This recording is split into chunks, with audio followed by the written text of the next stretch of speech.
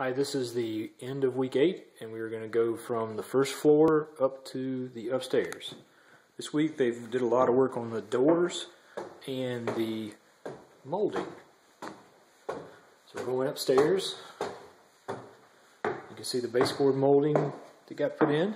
You can see the doors. The first door there is for a storage room. Directly ahead is to the study. And then we got two doors here for the playroom.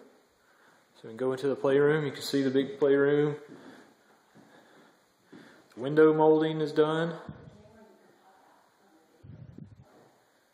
And you can see the baseboards, the window molding.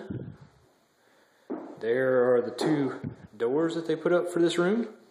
So they're kind of a French door design, almost kind of like a, somewhat like a closet door.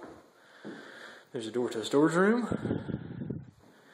And there's the baseboard, the window casing, the door to this study. So this is going to be a nice room. And here we go. I think we have some people with us today. All right, here he comes. David. Who's behind door number one?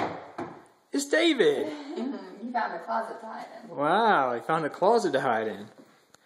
Here they got the casing, and there's the little door to the storage area.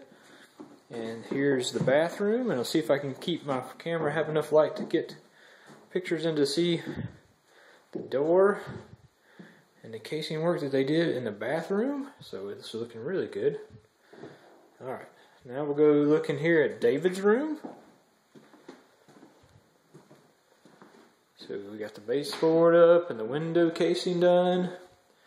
And the closet door is done for David's room. And then we'll walk over here into the guest bedroom. It's looking really good.